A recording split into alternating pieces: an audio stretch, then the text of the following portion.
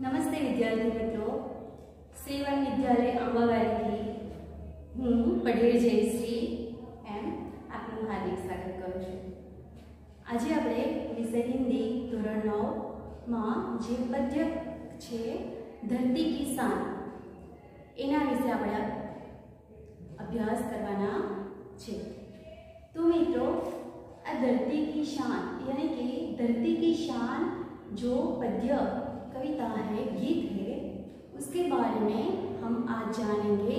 लेकिन उससे पहले ये पद्य किसने लिखा है, वो जानना हमारे लिए ज़रूरी है आप सभी जानते हैं जब भी हम किसी भी काव्य या यानी कि पद्य यानी गीत या काव्य की शुरुआत करते हैं तो उससे पहले उसके जो कवि है किसने कविता लिखी है उसके बारे में पहले हम जानते हैं तो मित्रों आप जानते होंगे शायद कि ये जो काव्य है धरती की पंडित भरत व्यास जी ने लिखी। है तो सबसे पहले हम भरत व्यास जी के बारे में जानेंगे कि भरत व्यास जी का जन्म कब हुआ था, वो कहाँ के रहने वाले थे और उन्होंने कितनी रचनाएँ की थी, उसके बारे में हम जानेंगे। तो विद्यार्थी मित्रों सबसे पहले हम पंडित भरत व्यास जी के बारे में जानते हैं तो पहले पंडित भरत व्यास जी हिंदी साहित्य जगत के जाने माने गीतकार के रूप में जाने जाते हैं। यानी कि पंडित भरत व्यास जी है, वो फ़िल्म जगत में भी उनका बहुत बड़ा योगदान रहा है। तो विद्यार्थी मित्रों उनका जन्म राजस्थान के चूरू नामक शबे में हुआ था। यानी कि पंडित भरत व्यास जी का जन्म राजस्थान के शब्द चूरू नाम का जो सभा था, वहाँ पे हुआ था। उन्होंने कई सारी काव्य रचनाएँ की है, गीत रचना की, रचनाएँ की है यानी कि काव्य की भी बहुत सारी कविताएँ भी लिखी है और गीत भी उन्होंने लिखा। ये जो धरती की शान हम पद्य ले रहे हैं, वो गीत का ही एक भाग है। और की रचनाएँ हिंदी फ़िल्मों में भी लिखी है। यानी कि पंडित भरत व्यास जी है, उनकी जो बहुत सारे ऐसे गीत है जो फ़िल्म के अंदर भी लिए गए हुए आप लोग जानते हैं, फ़िल्म की फ़िल्म जो होती है, फ़िल्म के फ़िल्म के अंदर गीत होते हैं। तो उनमें से पंडित भरत व्यास जी की ने भी बहुत सारे गीत दिए हुए हैं। यानी कि जो फ़िल्म के अंदर गीत होते हैं, वो पंडित भरत व्यास जी के बहुत सारे गीत हैं। और उनके गीत के अंदर बहुत सारी मानव मूल्य की प्रतिस्थापित होता है। उनके गीत के अंदर मानव मूल्य जो है, वो प्रतिस्थापित हुआ है। प्रस्तुत गीत सन उन्नीस सौ अट्ठावन में आई हिंदी फ़िल्म गाँव के गोरी से लिया गया है। यानी कि आज जो हम जो गीत पढ़ने जा रहे हैं वो उन्नीस के अंदर आया हुआ एक फ़िल्म था, फ़िल्म का नाम है गाँव की गोली। उस गीत से और उस फ़िल्म से इस गीत को लिया गया है। इस गीत का नाम है, आप जानते हैं, कि धरती की शान इस गीत में मनुष्य की महत्ता को देखते हुए मनुष्य को सबसे बुद्धिमान माना गया है। सभी जानते हैं, हम बहुत सारे ऐसे प्राणियों के बारे में जानते हैं। आप ये तो जानते ही होंगे कि मनुष्य को भी प्राणी के रूप में ही माना गया है। आपको पता है, लेकिन उन सभी में आपको पता है कि हम कौन कौन से प्राणियों के बारे में बात कर रहे हैं? धरती के ऊपर बहुत सारे प्राणी होते हैं। तो उस प्राणियों में से मनुष्य भी एक प्राणी है लेकिन उन सभी प्राणियों में से जो मनुष्य है मनुष्य प्राणी एक ऐसा है वो बुद्धिमान है सोच सकता है वो तर्क कर सकता है। और जो दूसरे सारे प्राणी हैं, वो खा सकते हैं, सो सकते हैं, सब कुछ कर सकते हैं, लेकिन उसके अंदर तर्क करने की शक्ति होती नहीं, वो बुद्धि नहीं उसके अंदर बुद्धि होती नहीं, वो बोल नहीं सकते। लेकिन मनुष्य के अंदर सब कुछ होता है, वो आप सभी जानते हैं। और मनुष्य अपनी बुद्धि से कठोर परिश्रम भी करता है। बल पर जल, थल पर नभ और तमाम उपलब्धियाँ अर्जित हो सकती है। यानी कि वो जो परिश्रम के द्वारा, बल के द्वारा सब कुछ प्राप्त कर सकता है। अपनी शक्ति से प्रकृति की बहुत सीमा तक अपना अनुकूलन उठाने में सफल हुआ है। आप जानते हैं कि मनुष्य बहुत सारी ऐसी रचनाएँ हैं, वो कर सकता है। अपने बुद्धि के द्वारा वो बहुत कुछ प्राप्त कर सकता है। आप सभी जानते हैं कि हमारे देश के बहुत सारे वैज्ञानिक ऐसे हैं जो धरती से और आकाश तक पहुँच सके वो किसके कारण? अपनी बुद्धि के कारण। तो यानी कि धरती से हम आकाश तक, मंगल तक, चंद्र तक पहुँच सकते हैं। तो आप समझो कि मनुष्य क्या से क्या नहीं कर सकता। तो इस काव्य के अंदर कवि ने वही बताने की कोशिश की, वही बताया है कि मनुष्य कुछ भी कर सकता है कुछ भी करने के लिए वो काबिल है। हाँ लेकिन मनुष्य को उसके लिए अपनी बुद्धि लगानी ज़रूरी है। कवि बताते हैं मनुष्य की शक्ति के सामने कोई भी कार्य असंभव नहीं। है देखो यहाँ कवि भी यही कहते हैं कि मनुष्य चाहे तो कुछ भी कर सकता है लेकिन उसके लिए आ, उसकी बुद्धि बहुत ज़रूरी हो। वो अपनी बुद्धि का उपयोग करना ज़रूरी होता है। मनुष्य अपनी बुद्धि का अगर उपयोग कर सकता है बुद्धि का प्रयोग कर सकता है तो वो कुछ भी, उसके लिए असंभव नहीं हो, कुछ भी हो, लेकिन वो सब कुछ कर सकता है। मनुष्य जो चाहे वह प्राप्त कर सकता है। यानी मनुष्य ही धरती की शान है। यही भाव काव्य में आत्मनिर्मित है। यही हमारी महानता प्रणाम है। तो विद्यार्थी मित्रों, हमने पंडित भरत व्यास जी के बारे में जाना कि पंडित भरत व्यास जी का जो जन्म हुआ था वो राजस्थान के चुरू नाम के कस्बे में हुआ था। और पंडित भरत व्यास जी ने बहुत सारे हिंदी फ़िल्मों के अंदर अपनी गीत रचनाएँ दी हुई है, जो इस काव्य की हम बात कर रहे हैं, इस गीत की बात कर रहे हैं, वो आपको समझ में शायद आ गया होगा। कि आपको बताया कि इस काव्य को किस गीत से लिया गया था और कौन से साल में ये आई हुई थी? कुछ याद आया विद्यार्थी मित्रों? अच्छा उन्नीस में जो फ़िल्म आई थी, फ़िल्म का नाम क्या था? अच्छा फ़िल्म का नाम था गाँव की गोरी। इस गाँव की गोरी का नाम का जो फ़िल्म था, उसके अंदर से ये काव्य लिया गया हुआ है, ये गीत लिया गया है। तो विद्यार्थी मित्रों, सबसे पहले हम इस काव्य का गान करेंगे। और फिर थोड़ा थोड़ा गान करके हम आगे उसको, उसका जो भाषांतर है और उसकी जो समझौते है, उसके बारे में हम जानेंगे। तो सबसे पहले विद्यार्थी मित्रों, आशा करती हूँ कि आपको भी पसंद आएगा गाना, आपको भी पसंद आएगा। आप जो गौरव गीत से जानते हैं इस गीत को और आप लोगों ने भी बहुत बार गाया होगा। तो धरती के शान तो भारत के संतान तेरी मुट्ठी में बंद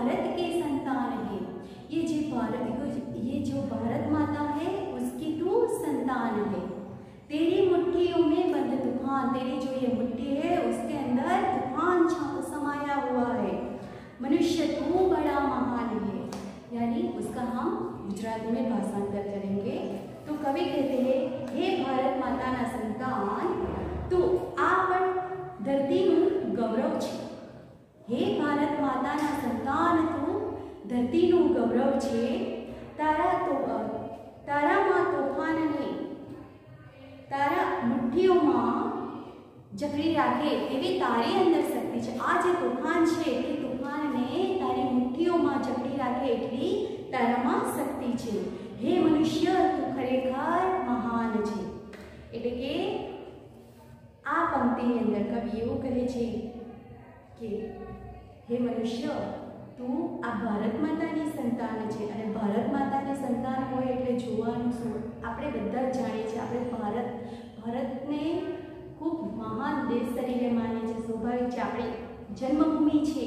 જન્મભૂમિ એટલે જનની જન્મ જનની માતા માતા એટલે આપણા માટે શ્રેષ્ઠ.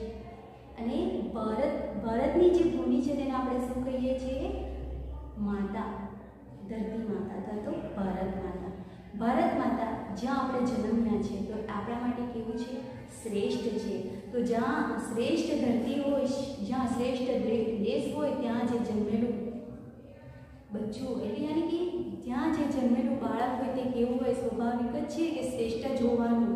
તો હે ભારત માતાની સંતાન, તું આ ધરતીનું ગૌરવ છે, આ ધરતી માટે તું ગૌરવ સમાન છે. તારામાં તોફાનને તારી ગુટકીઓની અંદર તોફાનને રોકવાની શક્તિ છે. હે મનુષ્ય, ખરેખર તું બહુ મહાન છે. તો આપણે અહીંયા આજે પહેલી પંક્તિ છે આપણે તેના વિશે સમજ્યું હવે જે આગળની પંક્તિ છે તેનું ગાન કરીશું અને તેના વિશે આગળ સમજીશું. તું જો ચાહે પર્વત પહાડ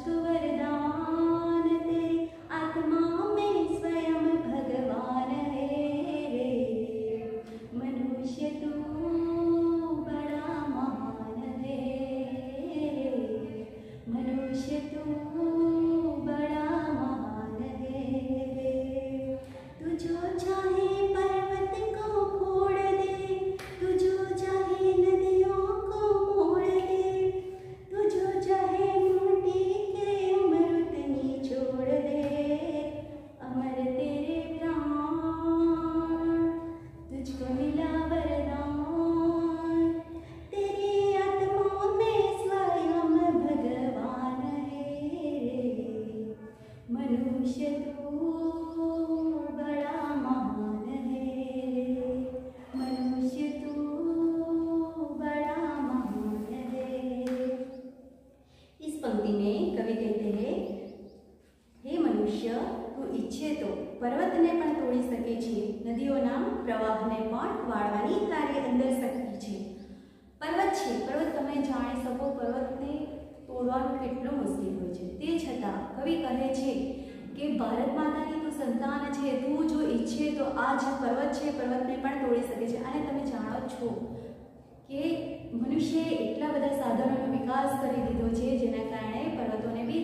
શકાય છે, પર્વતોની અંદર તોડીને એની અંદરથી પણ રસ્તા બનાવી શકાય છે.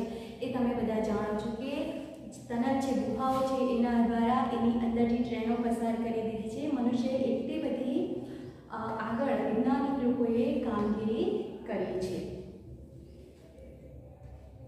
હે મનુષ્ય તું જે નદીઓનો પ્રવાહ છે, નદીઓનો પ્રવાહ છે, એને પણ વાળી શકે છે. તમને મેં કહ્યું હતું નદીઓના પ્રવાહને કેવી રીતના વાળી શકાય? તો હું તમને એક સામાન્ય ઉદાહરણ આપું છું, વિદ્યાર્થી મિત્રો. જો તમે સાંભળ્યું હશે, નર્મદા નદી. નર્મદા નદી વિશે સાંભળ્યું હશે, જે નર્મદા નદી ગુજરાતની અંદર છે અને એ જ્યાં નદી છે, ત્યાં આગળથી, ત્યાં આગળ સરદાર સરોવર નામનો ડેમ બનાવવામાં આવ્યો છે. અને એ ડેમમાંથી છેક કચ્છ ભુજ સુધી ત્યાંનું પાણી લઈ જવામાં આવે છે. તો વિદ્યાર્થી મિત્રો, તમે વિચાર કરો કે એ નદીની અંદરથી કેનાલ દ્વારા પાણી જ્યાં આગળ પાણી મળતું નથી. ઘણીવાર એવું પણ બને છે કે ત્રણ ચાર વર્ષ નીકળી જાય છે, ત્યાં ત્યાં સુધી પણ ત્યાં વરસાદ નથી પડતો એવી જગ્યા જે કચ્છ ભુજ છે. ત્યાં સુધી પાણી પહોંચાડી શકે તો એ કોણ કરી શકે? એ મનુષ્ય જ કરી શકે. બાકી બીજું કોઈ કરી શકે નહીં, કોઈ પ્રાણી એ વસ્તુ કરી શકે નહીં. તો એ શાના દ્વારા કરી શકે છે તે પોતાની બુદ્ધિ દ્વારા કરી શકે છે?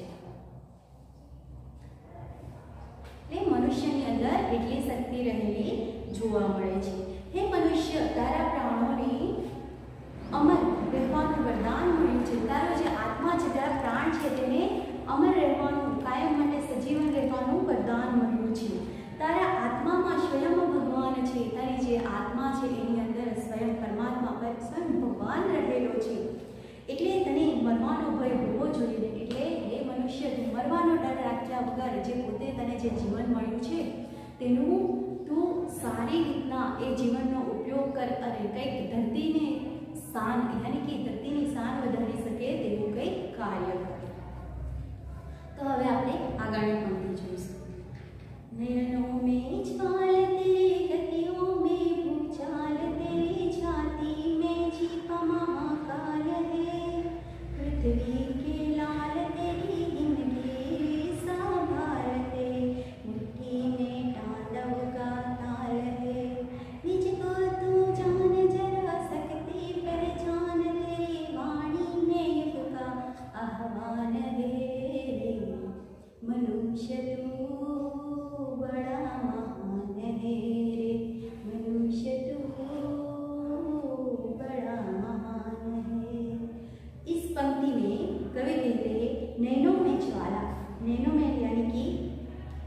जो मनुष्य की आंखें हैं उसके अंदर ज्वाला क्रोध है મનુષ્યની આંખોની અંદર ક્રોધ ભરેલું તારા નેનોમાં અગ્નિ સમાયેલો છે ક્રોધનો અગ્નિ સમાયેલો છે જ્વાળામુખી સમાન એ અગ્નિનો જ્વાળામુખી સમાન છે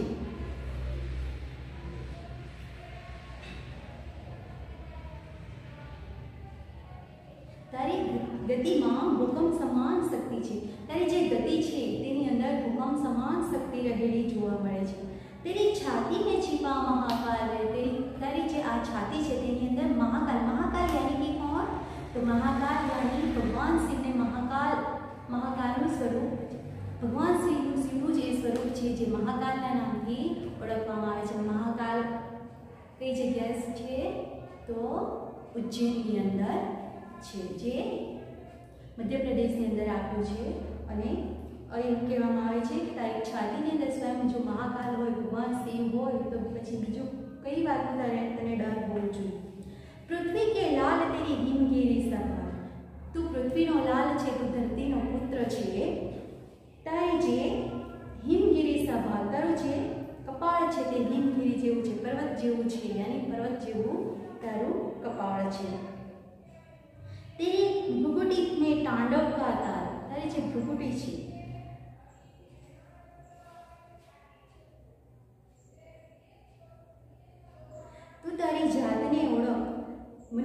તારી જાતને ઓળખ, તારામાં અપાર શક્તિઓ રહેલી છે. એમને ઓળખવાનો પ્રયત્ન કર. ઈચ્છે તો તારી વાણી નવયુગને બોલનારી શકે છે. યાની કે તારી જે વાણી છે તે નવયુગને સર્જન કરનારી હોઈ શકે છે. એ મનુષ્ય ખરેખર મહાન છે. તો હવે હવે આપણે જે આગળ, આગળની પંક્તિ છે તેના વિશે જોઈએ. ધરતી સાથે રહે तू जो चाहे तो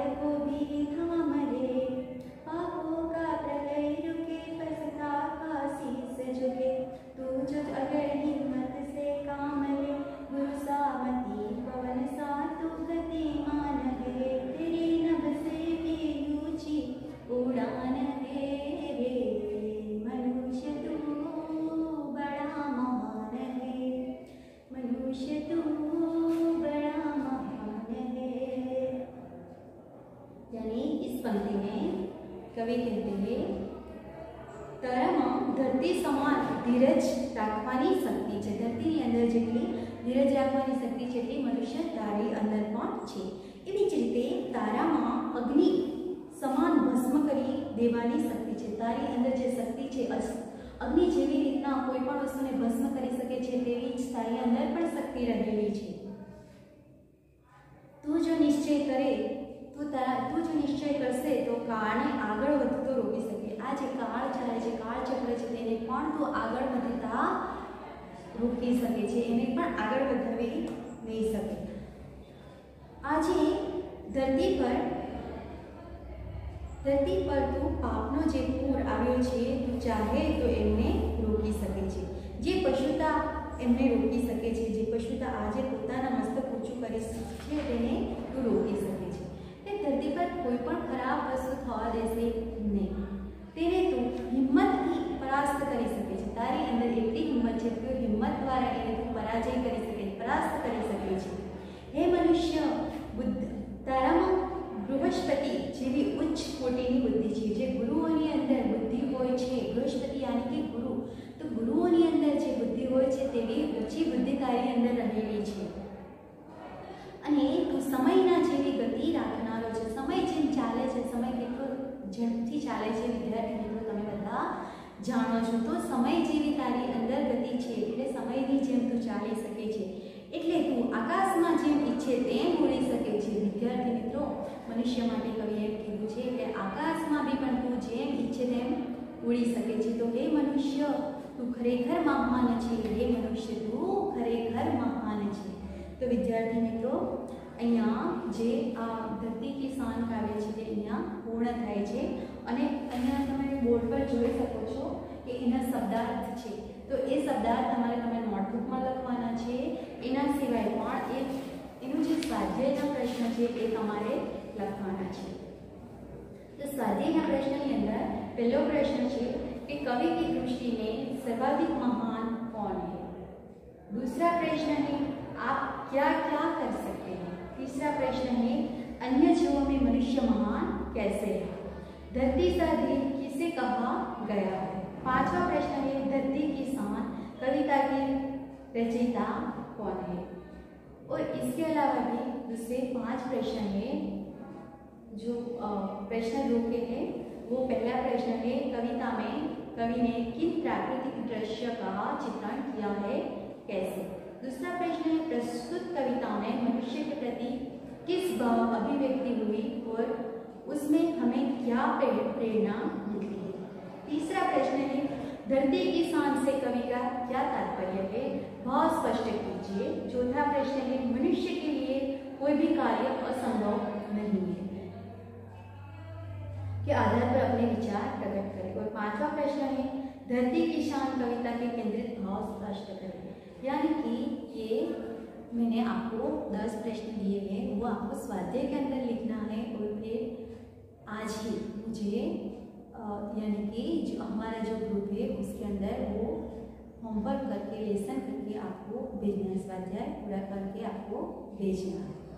तो थैंक यू विद्यार्थी मित्रों। आशा करती हूँ कि आपको अच्छा लगा थैंक यू